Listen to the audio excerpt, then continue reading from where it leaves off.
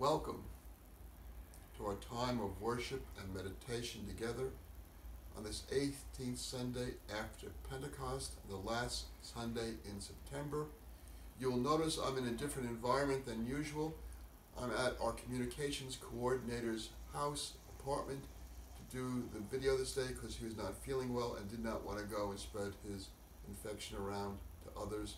So I've come to his house to share the good news with you. And I invite you now, in the beginning of autumn of this year, to share with me our call to worship. Let us share together. Give thanks to the Lord, for he is good. His faithful love endures forever.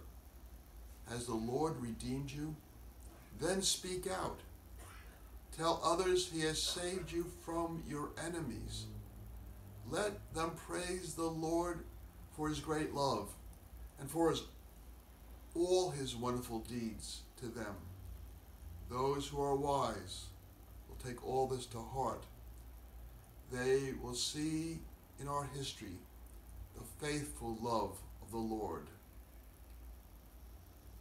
And as we gather this day, we do not have our regular candles, but we have a light, a light that shines in the darkness, and a light that enlightens us. And as we gather this day, we share the light of Christ in our lives, the light of Christ that brings greetings to us of hope, help, and healing. And I invite you now as we gather here at Robert's apartment and at your home to share the shalom of Christ. That is the well being of Christ, the presence of Christ, the love of Christ, the caring of Christ, the peace of Christ with each other through the airwaves and with those who are at home. Shalom. Shalom in Christ. Shalom this day in the peace of Christ. And as we gather this day, we do not have our regular candles, but the light again does shine for us. And we recall that each Sunday we light the shalom candle, the peace candle of Christ, remind us of that light shining in the darkness and the darkness not overcoming it. So this day we do it a little bit more mechanically, but shine the light. Light of Christ's presence and peace. And in doing so, I invite you now to share with me our prayer of preparation for this day. Let us pray to give together. Give thanks to the Lord, call upon him, sing praises to his name in the name of Jesus. Dear Heavenly Father, we come to praise you. We come, down, we come to bow down before you and ask forgiveness for our sins. We are your children. We are not worthy, yet your love pours down around us each and every day. Help us to share with others the love you share with us. Give us the strength to stand up in the name of Jesus. This is our prayer and praise. Amen, amen, and amen. It is so. Amen.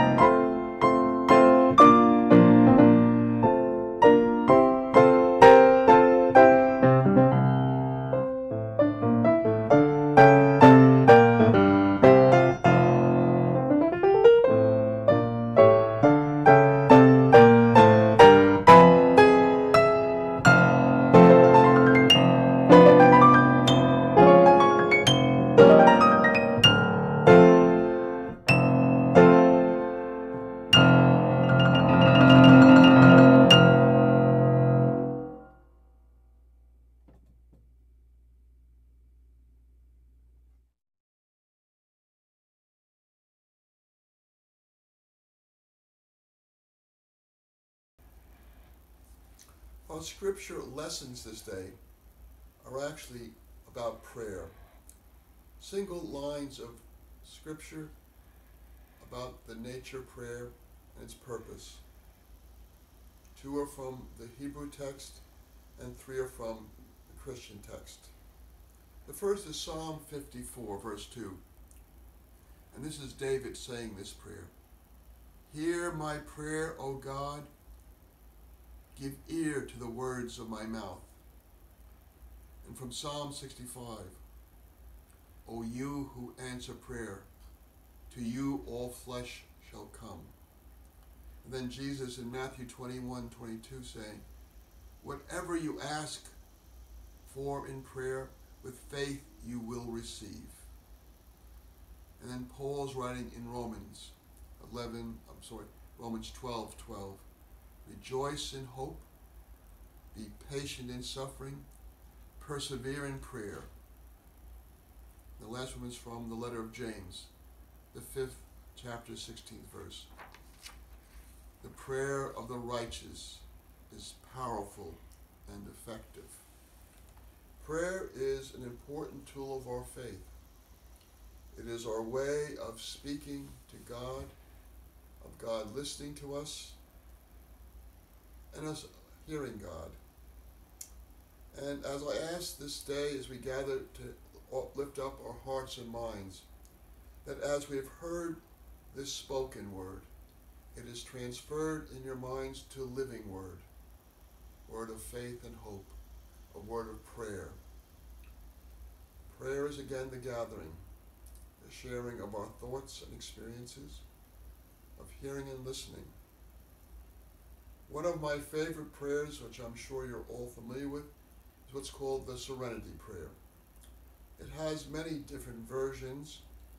It was originally attributed and still is attributed to Reinhold Niebuhr, a major Protestant theologian and ethicist who taught at Union Seminary for his career. He was also a pastoral minister. In this prayer, which he gives, it was actually, I understand, a, benediction. And it is often used in recovery programs to affirm people, to affirm their recovery. There is a short version which we are all familiar with. God, grant me the serenity to accept the things I cannot change and courage to change the things I can. There is a longer version, and it's one that I use when I do my prayers each day as the beginning of my prayer cycle. God, grant me the serenity to accept the things I cannot change, courage to change the things I can, and wisdom to know the difference. Living one day at a time, experiencing joy one moment at a time, accepting hardships as pathways to peace, taking as you did this world as it is and not as I want it to be. Trusting and surrendering to your will, you will make all things right, that I'll be reasonably happy in this life and supremely happy with you in the next. May God's presence be with you as we do this time of meditation. There was a critic who said about this prayer, this, the first part, it's in black and white. It's in certainties. I disagree with that. Actually, the issues in life are not because of being black or white, it's about being gray. We get lost often in the fog of life, the grayness of life, the uncertainty of life. And both black and white are forms of light, which can be a guide and a healing. And again, as the prayer says, God grant me the serenity to accept the things I cannot change. God, allow me to have, how to say this, peace of mind in uncertainty. To realize there are some things in life I have no control over and to, in a sense, not just accept but let go of it. God grant me the strength to accept the things I cannot change. There are many things in my life I cannot change. And rather than mulling over and worrying over it or being impatient over it, to let it go. The second part again is the courage to change the things I can. Faith, prayer are acts of courage to give us strength to overcome the moments. And the third part is the wisdom, the knowledge, the understanding, to know the difference, to be able to use that knowledge of acceptance, courage, serenity, to know the parts of my life that I can live at the greatest peace with the world around me and with my Savior and my God. As many of you know, I do not like to fly airplanes. I really dislike it. In one summer, I went through three separate incidences in airplane flights, which I'll not go into, and many of them know it. But it left me with a feeling I do not have to fly again. I do not want to fly again. A little over a year ago, actually not this past winter, but the year winter before, I was in Winnipeg, Canada. It's one of my places I enjoy being at, and I wanted to be there in winter to see how I could take it, because one of my goals in life is to see the northern lights, and Winnipeg is a stopping off point. There was a railroad strike in Canada those weeks, and it wasn't ending. So all train travel was cut off. There's no bus travel to Winnipeg. And the only other way of getting out of Winnipeg is to fly. I had to make a decision. I need to get back to Yonkers, my life here, to my work and ministry. So I chose to fly.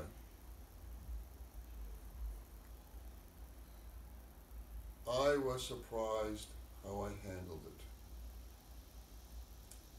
One is as I got on the airplane, and I must confess it was packed, and it was four hours late leaving Winnipeg, that as I said effectively, the serenity prayer. God grant me the serenity to accept the things I cannot change. I couldn't change the situation. I couldn't change the experience. And being anxious and worrying about it is not going to change anything. And the second part was the courage. I actually did this. I actually took the airplane and said, in effect, God, whatever happens, I'm in your hands. I don't think I would have done that 15 or 20 years ago. But I did it that day, and I got through it. The wisdom is to know the difference between my actions and God's presence with me, to understand it. And as the longer version says, living one day at a time. Right now, we're in the middle of a massive pandemic, which is at epic proportions again and even affecting our area. Living the day in the day as has been planned for us. Living this day and getting through it. Experiencing joy one moment at a time. Last week we had a simple time of going apple picking. Many of us have arrived at different times, but we went to a different place and we picked some apples. And that was a joyful moment. Accepting hardships as pathways to peace. There have been difficult times in my life, in my journey, like that airplane fight. It was a sense of hardship. Not something I want to do. But I passed through it. Each of us can pass through our hardships to find that serenity, that courage, that wisdom. We can pass through the moment and come out the other side. One way of saying is one door closes, another door opens. The way of saying is we simply pass through it. And then it says in the prayer, taking as you did the world as it is, and not as I want it to be. The world can be a place of uncertainty. But Jesus took it as a place of transformation and renewal and life, and that was his ministry. And hopefully I can find that presence with my Lord each and every day. Trusting and surrendering my will. Surrendering is not giving up, it is giving over. You will make all things right. Correct. For me, even in those last moments of my journey. That I'll be reasonably happy in this life. And I have found in the present journeys, I have that reasonableness, reasonableness of happiness, and supremely happy with you when my new journey begins. May God be with you. May God grant you serenity, courage, peace, joy, life. May God bless you and keep you as we gather together via this video for the present time until we can meet again face to face. And as we close this day, I'll ask that we remember in prayer all who have died from this disease, who may, we may know, lift up all those who mourn, who've had the sadness and pain in their lives, to remember those in prayer who have a birthday this month, September, and to pray for ourselves and for others we love and others we may disagree with, that there can be reconciliation and healing. And I would suggest as our pastoral prayer, we say the Lord's Prayer. I'm sorry, to say together the Serenity Prayer. Saying together, God, grant me the serenity to accept the things I cannot change, courage to change the things I can, and wisdom to know the difference. Living one day at a time, experiencing joy one moment at a time, accepting hardships as pathways to peace, taking as you did this world as it is and not as I want it to be, trusting and surrendering to your will, you'll make all things right, that I shall be reasonably happy in this life and supremely happy with you in the next. Amen.